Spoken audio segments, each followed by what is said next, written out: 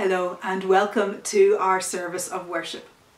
Today I want to spend a little more time on a verse that I've quoted over the past two weeks. That verse from the prophet Micah, chapter 6, verse 8. The Lord has told you what is good, and this is what we require of you to do what is right, to love mercy, and to walk humbly with your God. Today, we seek to explore a little more what this means for us in this time, what it means for us for our generation. We're going to sing our first hymn of praise, Hosanna, Hosanna, Hosanna in the highest, and we're very thankful to the Pursers for their music and leading today.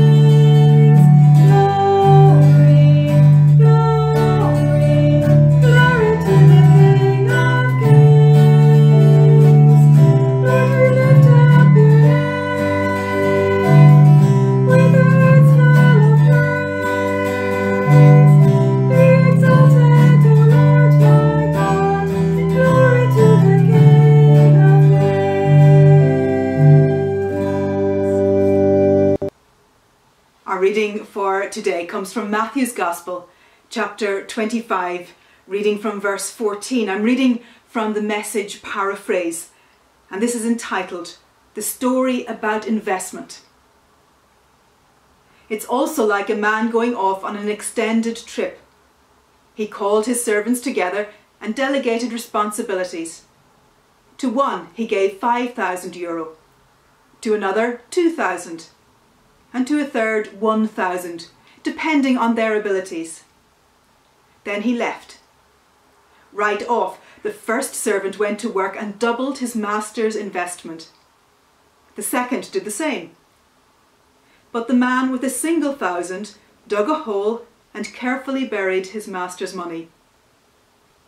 After a long absence, the master of those three servants came back and settled up with them. The one given 5,000 euro showed him how he had doubled his investment. His master commended him. Good work. You did your job well. From now on, be my partner. The servant with the 2,000 showed how he had doubled his master's investment. His master commended him. Good work. You did your job well. From now on, be my partner. The servant, given 1,000, said, Master, I know you have high standards and hate careless ways, that you demand the best and make no allowances for error. I was afraid I might disappoint you. So I found a good hiding place and secured your money. Here it is, safe and sound, down to the last cent. The master was furious. That's a terrible way to live. It's criminal to live cautiously like that. If you knew I was after the best, why did you do less than the least? The least you could have done would have been to invest the sum with the bankers, where at least I would have gotten a little interest. Take the thousand and give it to the one who risked the most and get rid of this play it safe, who won't go out on a limb throw him out into utter darkness. Finishing there at verse 30. Amen. You have probably noticed that over the weeks I have tried to record this video in different places with different things behind me. And I chose this place very particularly today because of what is behind me. Uh, and that is my fireplace, nicely cleaned out for the summer. Uh, because of course we're not going to get cold here in Ireland. I'm not going to need it again. But even if we do, I know I won't be using it regularly. And so it's good to have the, the glass cleaned and the fire cleaned out, uh, ready to use at a moment's notice. It's not needed right now. I could quite happily do without a fireplace. I could do without the heating system at the moment because it's warm enough outside and has warmed up the house. It's waiting to be needed again. I could have left it full of ashes. I could have left it with the glass all dirty. I do it often enough during the winter. I often only clean it out uh, in preparation to use it again. But here in the summer, because I know I'm not going to be using it often, I want to leave it clean and ready, ready to use at a moment's notice. The reason I have spoken about the fireplace is because I think it's a good illustration of how some of us can be feeling at this time. And not necessarily only because of the coronavirus, but that we've come to a time in our lives where we feel we're not really needed anymore, where we're not of much use, where we're sitting empty, ignored, And I want us to think of how untrue that is. That is Satan telling us that we are of no use, we have no purpose. And that is that is not true. We may not be needed in the same way that we used to be needed. Perhaps because of our old age, we're not able to get around and do things in the way we used to. Perhaps we, because of our poor health, we don't have the energy to get around. Perhaps we have lost a job and we don't know if we can get one again. So often we put our worth into being human doings rather than human beings. We feel if we can't do anything, then we don't have value. But we haven't been created like that. We have been created to be human beings, being in a place, being in a time of our lives, being in a time of the seasons, being in a time of coronavirus, to be here. To have a purpose to love God and to be loved by God. And to love others and be loved by others. The lesson from Matthew's Gospel talks about that. Three different servants are given three different amounts of money. Yes, the uh, message puts it in dollars. I thought it would be appropriate to change it to euros for, for our place in, in this world. But they weren't given the same amount. They were given different amounts according to their abilities. And it was obviously a good amount to give them because the one with the 5,000 euro was able to double it, the one with the 2,000 euro was able to double it. But the one who received the 1,000, he says, I was afraid I might disappoint you. He says, I didn't want to disappoint you. And so instead of investing in case I might lose it, I decided to, to bury it. I decided that I couldn't do anything with this. And I shouldn't do anything with this. Too often we are like that third servant. Too often, the gifts and the talents that God has given us, the places He has put us, the neighbours and family and members of our community that He has given us, and those who are in our sphere of influence, we have not used our ability from God, our love of God, and our love from God to love others as we should. Too often we have not helped because we have said someone else can do that better. Someone else can get a better result than I can. The one who got the 2,000 euro, perhaps if he had got the 5,000 euro, he would have failed. He would have lost everything because he was given too much and he didn't know how to, uh, to, to use it, how to invest it. We have seen over the years how many millionaires and billionaires created from uh, lotto jackpots who have lost everything, lost what they had even before they won that, that jackpot. Because they didn't know how to invest, they didn't know how to live with this kind of money. How we respond to God in our situation because it is different for each of us. How we use our gifts and talents will be again different for each of us. But God wants to use us. And He gives us uh, not just hints, but He gives us outright instruction in, in Scripture as well. That verse I quoted at the beginning of this service. The Lord has told you what is good, Micah says. And this is what is required of you to do what is right, to love mercy, and to walk humbly with your God. Or as the message puts it, to do what is fair and just to your neighbour. What is fair and just for you to do with and for your neighbour?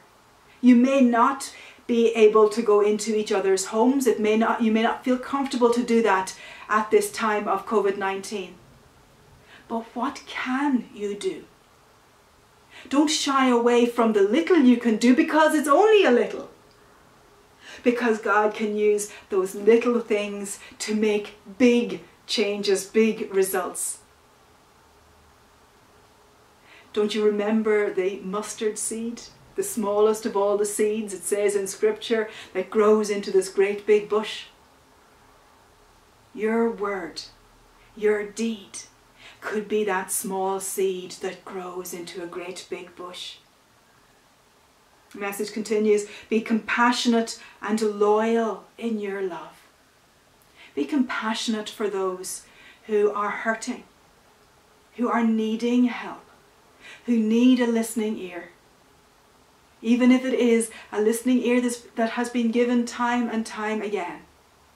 Some people just need to repeat their woes to find comfort in knowing someone listens. And finally, don't take yourself too seriously. It's not all on you. Take God seriously. That's what Scripture tells us. It's not all on us. It is for us to listen to the Holy Spirit that lives in us, that speaks in our hearts and lives, that works through us with the Holy Spirit, we can do those little things that will be big seeds, growing into mighty bushes and trees, making changes in this world that brings God's love to the attention of more people.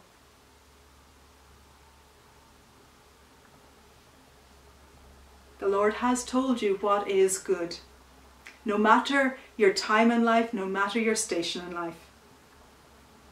And this is what he requires of you. To do what is right, to love mercy, and to walk humbly with your God. Amen. I've chosen as our next hymn, Have you heard God's voice? Has your heart been stirred? Are you still prepared to follow? And it goes on to talk about the world around us and, and speaking up when others are silent and being willing to make a stand, as so many have been doing over these last few weeks. The last chorus is not the question but is the answer. We will walk the path. That will cost us much and sometimes this will cost us a lot but it is a path that God asks us to follow. And He leads us on that path and He walks beside us. Let us sing together. Have you heard God's voice?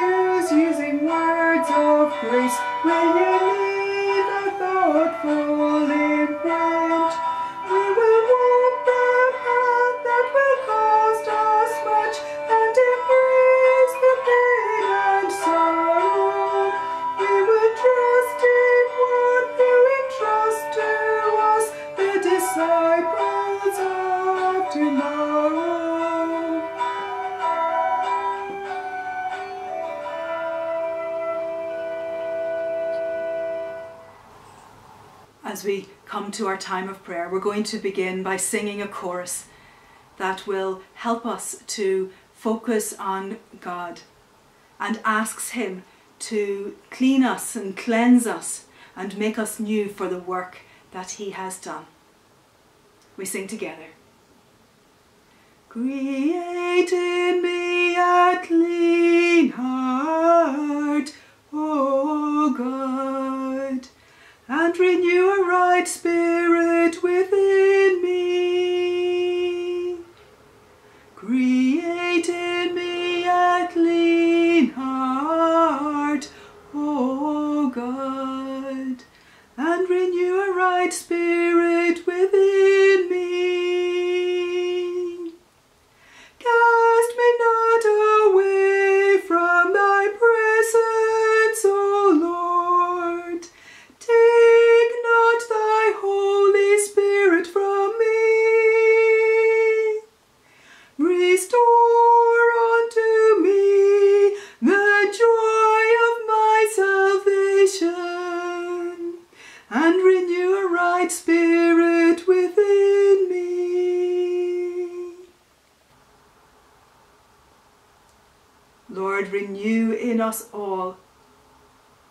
Spirit of love, of joy, of peace, of comfort, of patience, of goodwill, of faithfulness and trustworthiness. Renew in us all, Lord, a willingness and a desire to help others, to help them in their time of need, and to help them see a little of your love as it is through our words and actions. Lord, we continue to pray for our world. We pray particularly for the parts of the world where COVID 19 is still not under control, where it continues to grow, and where many thousands of people daily are infected. We pray for wisdom and guidance, for leadership, for governments, and for health executives. And we pray, Lord, and ask that a vaccine would soon be created and tested and made available to the public. We pray, Lord, also that as people have been standing up against the pandemic of discrimination, that we would all stand with them in solidarity. That we would seek to, first of all, see uh, our own lives and, and see where we are people who discriminate. And then, Lord, to change that about ourselves and to help change our society into one where discrimination becomes uh, minor, something that seldom happens and is quickly rectified when it does.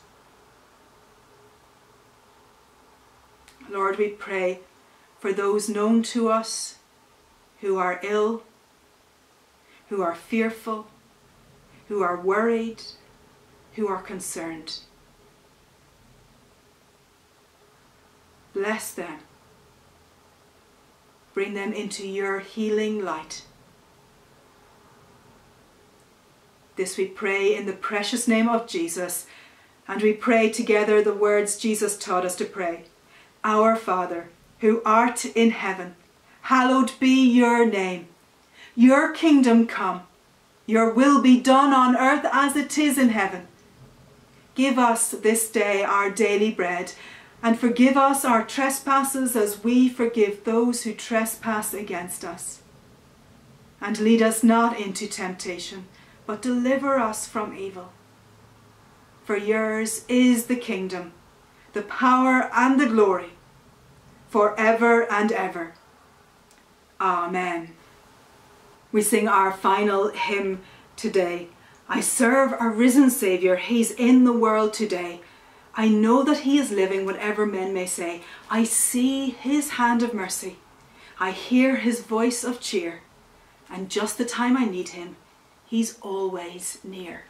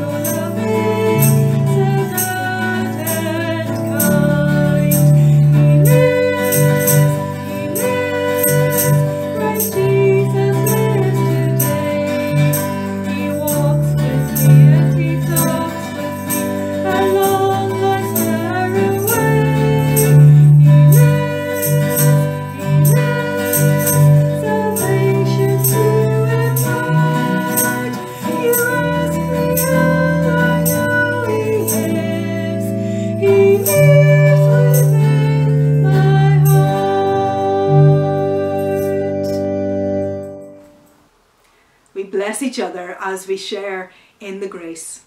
May the grace of our Lord Jesus Christ, the love of God, and the fellowship of the Holy Spirit be with us all evermore. Amen.